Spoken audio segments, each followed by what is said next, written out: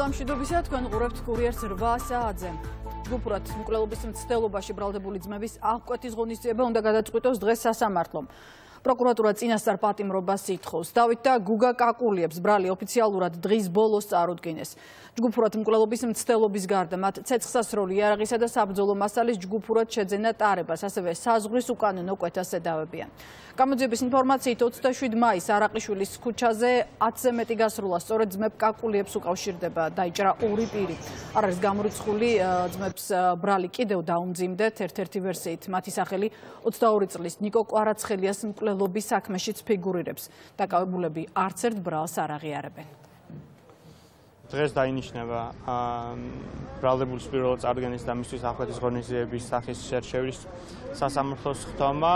ჩვენთვის როგორც ცნობილია, ბრალდება ითხოვს პატიმრობა იქნეს გამოყენებული აღკვეთის ღონისძიების სახით, თუმცა ჩვენი პოზიცია არის, რომ გამოყენებული იქნას გირაო, გირაოს თანხის ოდენობად მივანდობთ სასამართლოს. წარდგენილ არც ერთ ბრალდებაში თავს დამუშავებთ არ ცნობენ. და კიდევ ერთი მძიმე დანაშაული, რომლის ჩადენაშიც ბრალდებულ არასრულწლოვანს ბრალს დღეს ოფიციალურად წაუყენებენ. 15 წლის მოზარდს მისივე თანატოლის განზრახ მკვლელობის მცდელობაში ადანაშაულებენ. ადვოკატი დარწმუნებულია, რომ ბრალდების მხარე გაუგებრობას მალე აღიარებს და დაკავებულს გაათავისუფლებენ. არასრულწლოვანი თბილისში დააკავეს 74 საჯარო სკოლის მოსწავლეებს შორის ჩხუბი 2 დღის წინ. სასწავლო პროცესის დასრულების შემდეგ ავტოფარეხში მოხდა. დაპირისპირებაში 20-მდე არასრულწლოვანი მონაწილეობდა დაჭრილია ერთი პირი. ექიმის ინფორმაციით, მისი ჯანმრთელობის მდგომარეობა რთული, თუმცა გამოძიება განმარტა. ბრალის წარდგენა, ბრალდებულის პოზიცია არის რომ მას არანაირი დანაშაული არ ჩაუდენია და სისხლის სამართლის დანაშაულთან მას არანაირი შემხებლობა არ აქვს. საქმის მასალების გაცნობის შემდეგ დარწმუნებული ვარ ჩვენ, რომ ასევე დამატებით დაცვის მასალების წარდგენის და დაცვის მასალების გათვალისწინებით ბრალდების მხარე და პროკურატურა მივა იმ დასკვნამდე, რომ ეს იყო გარკვეული გაუგებრობა ამ ბავშვის დაკავება და მოხდება მისი გათავისუფლება. უკრაინაში კი ომის უკვე 98 დღეა. ლუგანსკის გუბერნატორის ინფორმაციით, რუსული ძალები ამ დროისთვის სევეროდონეცკის 70%-ს აკონტროლებენ. ადგილზე მძიმე ბრძოლები გრძელდება. ოკუპანტებმა ქალაქში მდებარე ქიმიურ ქარხანაზე აზოტის მსჯავის ავზე მიიტანეს იერიში. ადგილობრივ მოსახლეობას მოუწოდებენ არ დატოვონ თავშესაფრები. რუსული ძალები 10 საათის განმავლობაში ბომბავდნენ ხარკოვის ოლქში მდებარე ზოლოვიჩის დასახლებას. დაღუპულია 74 წლის ქალი მძიმე დაშავდა ერთი ადამიანი. უკრაინის საგანგებო სიტუაციის სამსახურმა 4 ცხედარი აღმოაჩინა ხარკოვში 16 სართულიანი საცხოვრებელი корпуსის ნანგრევებში, რომელიც თებერვლის ბოლოს დაიბომბა. რუსულმა ჯარებმა ხერსონის ოლქში მდინარე ინგულეთზე ხიდები დააბომბეს. ტერიტორიაზე კასეტური საბრძოლო მასალებიც артиლერიო თავდასხმები გრძელდება. ოკუპანტები წინ მიიწევენ ლუგანსკისა და დონეცკის ოლქებში. აქტიური შეტევითი ოპერაციები მიმდინარეობს დონბასში. დნეპროპეტროვსკის საოლქო სახელმწიფო ადმინისტრაცია მოსახლეობას რეგიონის საზღვართან ოკუპანტების მოახლოების შესახებ აფრთხილებს. უკრაინის შეერაღებულ ძალებს გარკვეული წინსვლა აქვთ ხერსონისა და ხარკოვის ოლქებში. უკრაინელმა სამხედროებმა მტერი უკან დახიეს ზაპოროჟიის ოლქში. აქტიური საომარი მოქმედებები მიმდინარეობს ქალაქ გულიაიპოლეს მიმართულებით. როგორც კი რუსეთის წინააღმდეგ დაწესებული სანქციების მეექვსე პაკეტი ამოქმედება, მეშვიდე პაკეტზე მუშაობა დაიწყება. ამ შესახებ უკრაინის პრეზიდენტმა მორიგ ვიდეო მიმართვაში განაცხადა. ვოლდიმერ ზელენსკის თქმით, სამხედრო აღჭურვილობის რაოდენობით რუსეთის უპირატესობის მიუხედავად, უკრაინის შეერაღებულ ძალებს ფრონტის ხაზზე მნიშვნელოვანი წარმატებები აქვთ. ჩვენ საბოლოოდ მივიღეთ კონკრეტული პასუხი ამ ომისთვის რუსეთის წინააღმდეგ სანქციების მეექვსე პაკეტის შესახებ. პაკეტი შეთანხმებულია მისი ძირითადი მიმართულება ნათელია. ევროპის ქვეყნები შეთანხმდნენ, რომ მნიშვნელოვნად შეზღუდონ ნავთობის იმპორტი რუსეთიდან. პრაქტიკული შედეგი არის 10 მილიარდი ევროთი ნაკლები, რომელიც რუსეთს ტერორის დასაფინანსებლად ექნება. ჩვენ ვაგრძელებთ რუსეთის წინააღმდეგ ამ ომის გამო ახალი შეზღუდვების შემუშავებას. როგორც კი მეექვსე პაკეტი ამოქმედება, მეშვიდე პაკეტის მომზადებას დავიწყებთ. თავისუფალ სამყაროსა და ტერორისტ სახელმწიფოს შორის არანაირი ეკონომიკური ურთიერთობა არ უნდა არსებობდეს. აქვე მინდა მიმართო უკრაინაში მყოფ ადამიანებს, რომლებიც ცდილობენ ჩვენი სახელმწიფოს შეიარაღებულ ძალებს მიუთითონ, როგორ არის საჭირო შეტევა ან მტრის განდევნა. უკრაინა ყველა აზრს პატივსცემს, მაგრამ უკრაინა უპირველეს ყოვლისა პატივსცემს თითოეული ადამიანის სიცოცხლეს და ეს აქსიომაა. უკრაინა არას დღეს მოიქცევა ისე როგორც იქცევა რუსეთი, რომელიც ხალხს ბრძოლის ჯოჯოხეთში აგდებს მხოლოდ იმიტომ, რომ მოსკოვს კონკრეტულ თარიღამდე გარკვეული ტერიტორიების ხელში ჩაგდება სურს. საქართველოს პრემიერისთვის იერუსალიმის პატრიარქის მიერ გადაცემულ ჯილდოს სოციალურ ქსელში ეხმიანება ირაკლი ღარიბაშვილი. ჩემთვის უდიდესი პატივია მაცხოვრის საფლავის რაინდის ორდენისა და მაცხოვრის ძელი ცხოვლის გამშვენებული ჯურის გადმოცემა. ამ ორდენის მონიჭება ასევე დროს განსაკუთრებული პასუხისმგებლობა. ჯილდოს მივიჩნებ აღიარებად ჩვენი ქვეყნისა და ხალხის ერთგულების ემუზენაესი ფასეულობებისადმი, რომელსაც რომელთაც მთელი ჩვენი ისტორია და დღევანდელობა ეფუძნება და რომელმაც ჩვენი ხვალინდელი დღეც უნდა განსაზღვროს, წერს საქართველოს პრემიერ-მინისტრი. რამდენი იქნება მომავალი წლის ცენტრალური კომისიის საარჩევნო ცენტრალური კომისიის ბიუჯეტი საკითხის განხილვა დღეიდან პარლამენტში იწყება. თემაზე პირველად საფინანსო საბიუჯეტო კომიტეტზე იმსჯელებენ. ცნობილია რომ CESCO წინა წელთან შედარებით დაახლოებით 6 მილიონით ითხოვს დაფინანსების გაზრდას და ამ ფაქტს 2024 წლის არჩევნებისთვის მზადებას უკავშირებს.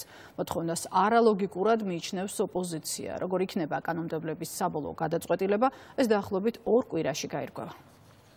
არა მარტო CSGO-ს, არამედ რამდენიმე უწყების განაცხადი არის მათ აქვს თურქულის სარემონტო სამუშაოებიდან დაწყებული ასევე სხვა თემები აქვს იგივე კომპიუტერული პროგრამების შეძენა და ასე მაგრამ ყველა ეს განაცხადი არის მხოლოდ განხილვის სტადიაში და ყველა ეს გადაწყვეტილებები იქნება მიღებული სესიის დაწყებამდე ჩვენ გვაქვს 15 ივნისამდე. ვადა რომ წარმატგინოთ განვიხილოთ და დავამტკიცოთ. კონკრეტულად საკომიტეტო მოსმენაზე იქნება სანახავი რისთვის ითხოვენ ამ დამატებით თანხებს მაგრამ ჩემი განწყობა ესეთია რომ არასაარჩევნო წელს ცესკო დამატებით 6 მილიონს ითხოვს ცოტა ისეთია. ალბათ ალბათ პარლამენტი ჩემი აზრით ამას ხარს არ დაუჭერს ყოველ შემთხვევაში ჩვენ ხარს არ დაუჭერთ. თუმცა ვიმეორებ რომ თუ დასაბუთებული არგუმენტაცია ექნება თუ დამატებით თანხები ჭირდებათ კონკრეტული რაღაცისთვის მას შეიძლება ვფიქროთ გარკვეულწილად თიანი წარმოქმნილი პროექტი წარმოადგენს სამზადის 2024 წლის საერთო არჩევნებისათვის და ეს სამზადისი მოიცავს შემდეგ ძირითად საქმიანობებს და ამ საქმიანობების განხორციელებას. ეს არის შენობების ინფრასტრუქტურის გაუმჯობესება, ცესკოში მოქმედი სასერვეროს ცენზების აღჭურვა, ეს არის პროგრამული უზრუნველყოფა, ასევე საალკო საარჩევნო კომისიების იჯარა. აი ეს არის ის ძირითადი მიმართულებები, რაც გათვალისწინებულია 2023 წლის პროექტში. ახალი დაცული ტერიტორია იქნება იმერეთში. საუბარია კვერეთის აღკვეთილზე საჩხერის მუნიციპალიტეტში, სადაც სამუშაოები აქტიურად მიმდინარეობს. დაცული ტერიტორია დაახლოებით 15000 ჰექტარზე განთავსდება. ადგილი ეროვნული და საერთაშორისო მნიშვნელობის უნიკალური ბიომრავალფეროვნებით, ეკოსისტემითა და ლანდშაფტებით გამოირჩევა. აქ არის ცოცხალ ორგანიზმთა იშვიათი უნიკალური გადაშენების საფრთხის წინაშე მყოფი გარეულ ცხოველთა სახეობები. პროექტის დეტალებზე დაცული ტერიტორიების სააგენტოს ხელმძღვანელობა ადგილობრივი მუნიციპალიტეტის წარმომადგენლებს, მოსახლეობასა და სხვა დაინტერესებულ მხარეებს ესაუბრა. გარემოს დაცვისა და სოფლის მეურნეობის სამინისტროს მიერ შემუშავებული პოლიტიკის ფარგლებში რომელიც მიზნად ისახავს საქართველოს ახალი დაცული ტერიტორიების დაარსებას და არსებული ქსელის განვითარებას.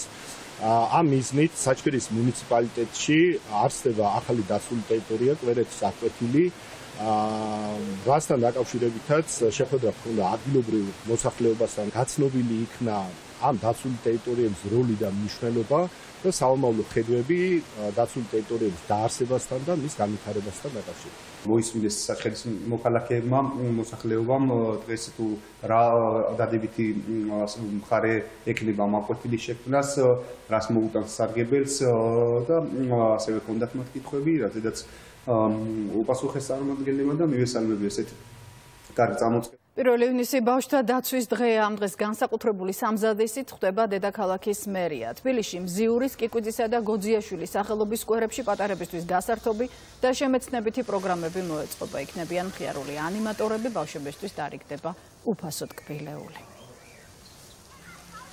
ტკბილეული. ვემზადებით მასშტაბური საბავშვო ღონისძიებებისთვის, რომელიც ხორცელდება თბილისის მერიის მხარდაჭერით და დღეს წარმოქმნილი იქნება სამ ლოკაციაზე: კიკვიცის პარკში, ზიურის პარკში და გოძიაშვილის პარკში. და საკმაოდ საინტერესო პროგრამა გვექნება წარმოქმნილი, როგორც შემეცნებითი გასართობი, სახალისო აქტივობები, გამოფენები, საბავშვო სტუდიების კონცერტები, უფასო ტკბილეული, ღიარული ანიმატორები და მაქსიმალურად საინტერესო პროგრამა იქნება ბავშვებისთვის.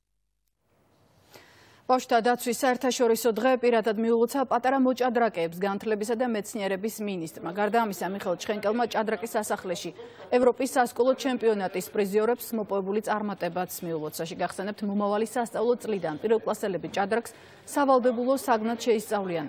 ამ სიახლესთან დაკავშირებული დეტალები მინისტრმა ჭადრაკის ქართულ ჩემპიონებთან ერთად კიდევ ერთხელ განეხილა.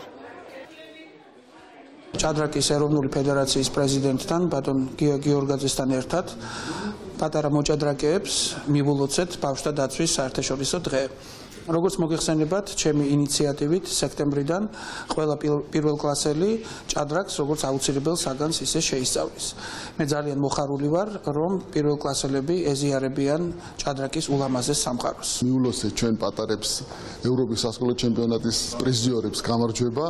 მიულოცეთ ბავშვთა საერთაშორისო დღე და ძალიან სასიხარულო ამბავია მინისტრის გადაწყვეტილებით 1 სექტემბრიდან იწყება სკა ჭადრაკის ჭადრაკის სავალდებულო სწავლება. სექტემბრიდან ვემზადებით დიდი საჭადრაკოზე იმისთვის როდესაც ყველა პირველკლასელი სავალდებულო საგნად ისწავლის ჭადრაკს.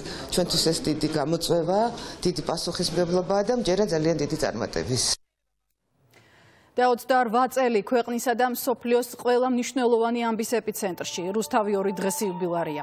ამბიციური გეგმებით ტელეკომპანიის ისტორია 1994 წელს რუსთავში ერთ პატარა ოთახში დაიწყო და უკვე 28 წელიწადია მაყურებელს ობიექტურ გადამოწმებულ და სანდო ინფორმაციას აწვდის. ამ პერიოდის განმავლობაში ტელეკომპანიამ შეიცვალა არაერთი მფლობელი იყო სასამართლო პროცესები და მისი დახურვის მცდელობები, თუმცა ყოდამ გამოწვევას რუსთავი ორმა ღირსეულად გაუძლო და ჩვენ კლავაც ერთგული მაყურებლის სამსახურში ვართ.